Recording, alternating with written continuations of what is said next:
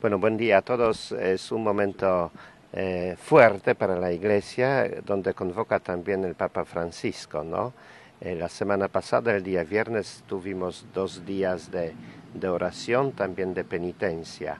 La Semana Santa para muchos es semana de más actividades dentro de la Iglesia, donde mucha gente se justamente acerca, eh, visitando, participando.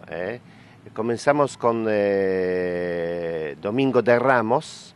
A las diez y media acá en la plaza vamos a tener una bendición de ramos de olivo, como también en, cada misa del domingo, es decir, ocho y media, diez y media fuerte y luego a las 20 horas acá. ¿Eh?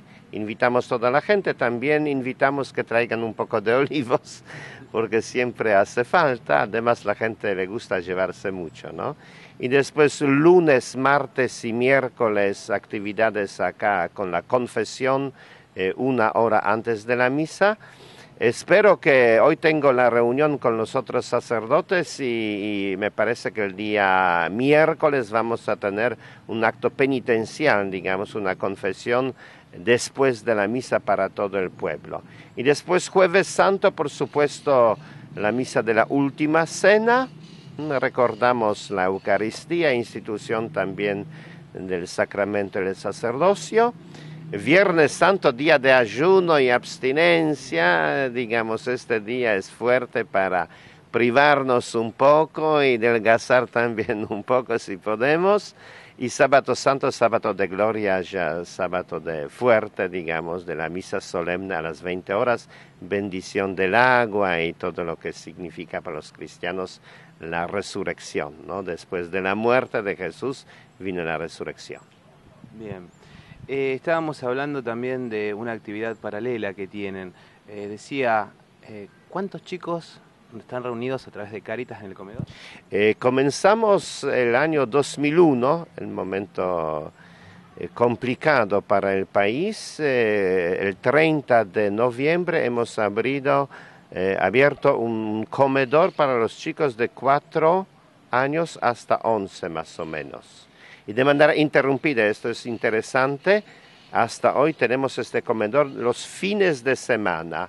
¿Por qué fines de semana? Porque normalmente los chicos durante la semana comen en los colegios o varios colegios dan y fin de semana no tenían dónde, entonces abrimos acá y tenemos eh, este comedor donde participan los chicos y muchas veces vienen mamás eh, con sus chicos, por supuesto.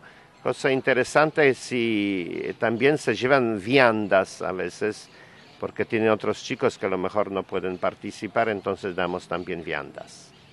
Eh, si alguien quiere colaborar, participar de alguna manera. Recibimos, gracias a Dios, mucha colaboración de, gente de Rodríguez, es decir, los panaderos, carniceros, verdureros realmente ayudan mucho y bueno, esperemos que eso eh, van, la gente a continuar. Invito también a todos los que quieren acercarse a participar también, no es solamente tema de de ayuda, pero también de preparar la comida. Claro, son muchos chicos. Son muchos chicos y la comida es realmente comida casera, no es un, un sándwich y copa de leche y ya se termina, no, no, con postre, con, con todo lo que corresponde como normalmente comemos en la casa, ¿no? en la mesa.